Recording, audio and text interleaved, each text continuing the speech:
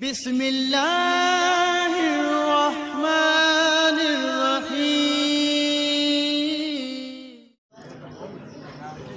रिजवी कादरी दरबार शरीफ आदतों, सुन्नी जन्नती मुसलमान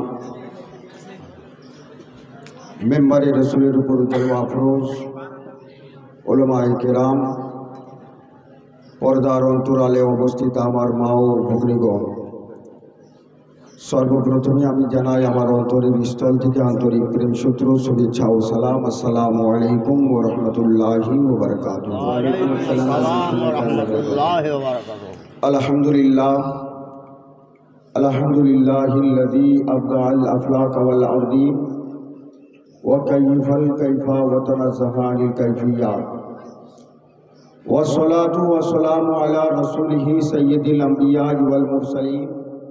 وعلى آله وأصحابه الطاهرين أجمعين أما بعد. فقد قال الله تعالى في كلامه المجيد وفي الفرقان الحميد فأعوذ بالله من الشيطان الرجيم. بسم الله الرحمن الرحيم. يا أيها الذين آمنوا اتقوا الله وكونوا مع الصادقين. آمنت بالله صدق الله مولانا العظيم. वसदक रसूलमीनमकीनकरीम वनहन शाहिदीन वशाकिरीन वलहमदिल्लाबीआलमीन इन अल्लाह या अय्युहल्लज़ीन आमनू सल्लु अलैहि व सल्लिमू तस्लीमा दरूद पाक पढ़ो अल्लाहुम्मा सल्ली अला सय्यिद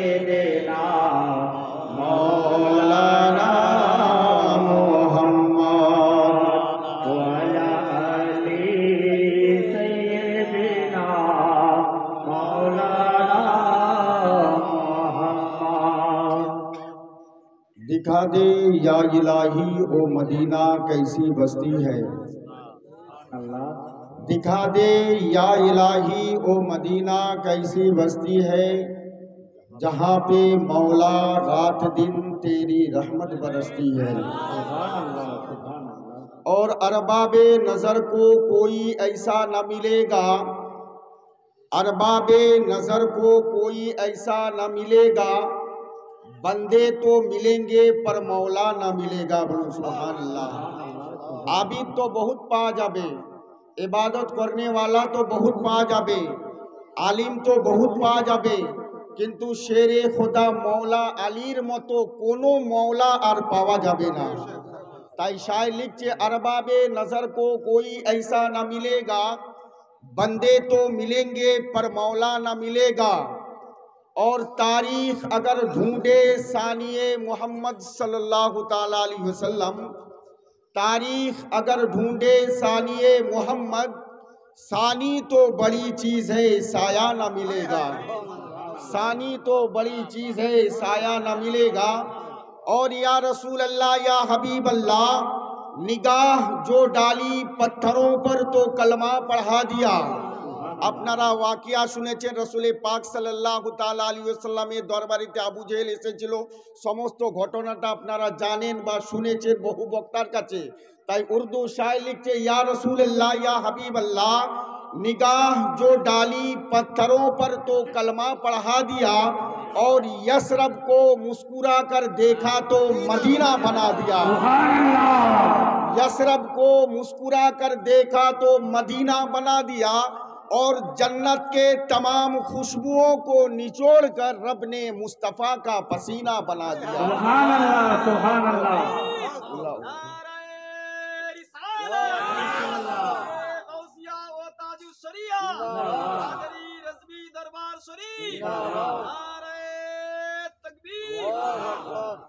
তো আজিজান মোহতারাম সমস্ত প্রশংসা হামদ তারিফ সে পরম করুণাময় বিশ্ব প্রতিপালক কুল কায়নাতের সৃষ্টিকর্তা মালিক ও খালিকের দরবারে যে আল্লাহ তবারক তালা আমাদের সকলকে সন্ধ্যা থেকে নিয়ে এতক্ষণ পর্যন্ত রেশমি কাদরি কাদরি দরবার শরীফে উপস্থিত হয়ে কিছু বলা এবং শোনার তৌফিক দান করেছেন সকলে আল্লাহ দরবারেতে শুক্রিয়া আদায় করে বলি আলহামদুলিল্লাহ।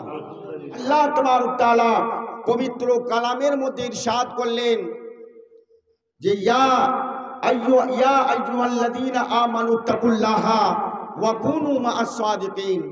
আজকের কিছু লোকেরা বলে থাকে, নামাজ পড়লে পার হয়ে যাব। বলে না বলেনি? নামাজ আফজালুল ইবাদত। নামাজ সমস্ত ইবাদতের সরতাজ। নামাজের থেকে উত্তম এবাদত আর কিছুই নাই। আছে? মুফতি সাহেব কিবলা হাজির আছেন।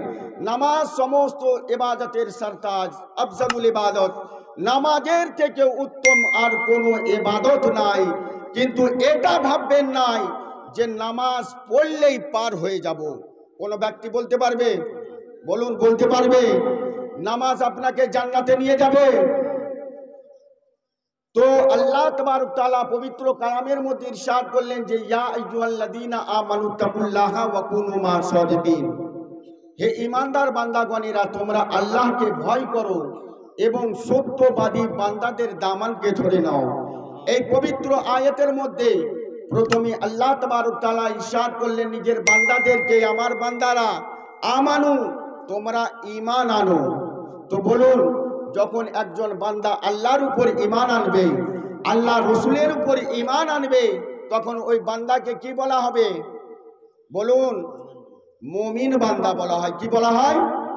মমিন বান্দা বলা হয়। প্রথম স্টেজ তারপরে আল্লাহ পাক ইরশাদ করলেন, ইত্তাকুল্লাহ, তোমরা আল্লাহকে ভয় করো, তোমরা মুত্তাকি হয়ে যাও।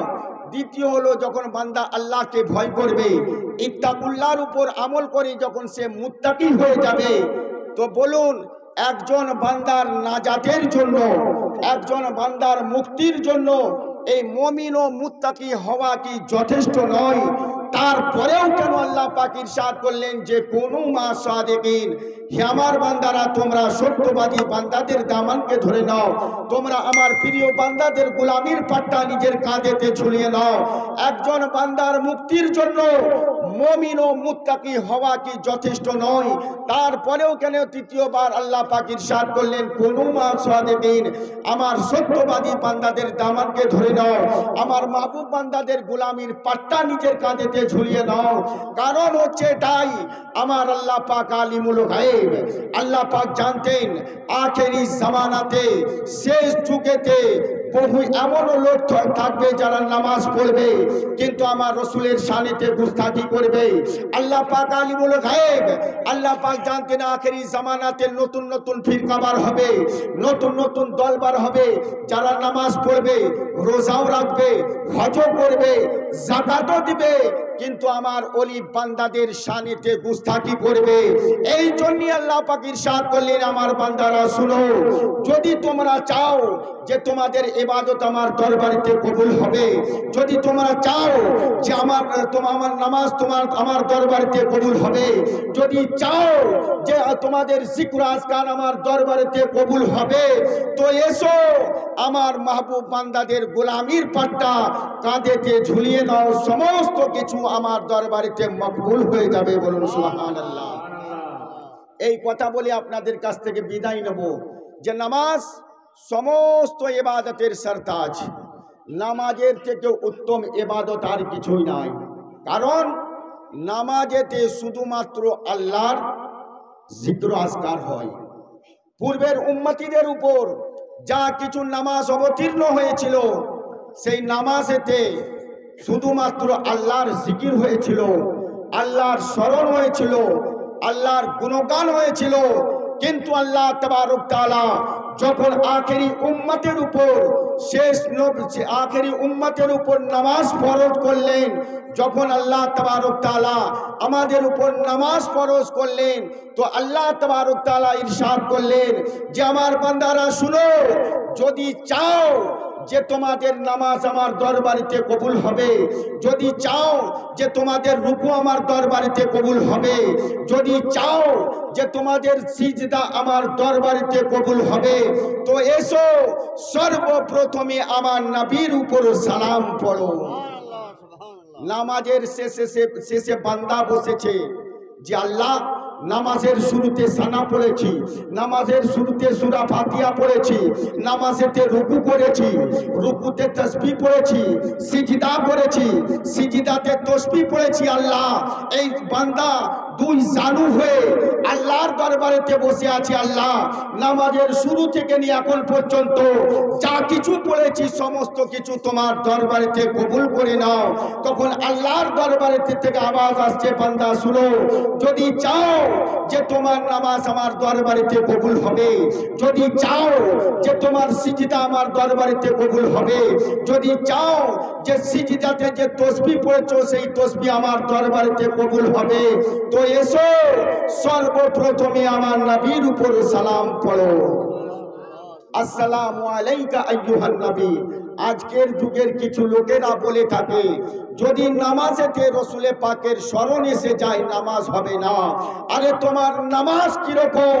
যেই নামাজেতে রসুলের স্মরণ না আসে, আমাদের সুন্নিদের নামাজ হচ্ছে এটাই যতক্ষণ না পর্যন্ত রসুলের খেয়াল আসবে যতক্ষণ না পর্যন্ত রসুলের স্মরণ আসবে, সুন্নিদের নামাজ ততক্ষণ পর্যন্ত মুকাম্মল হয় না।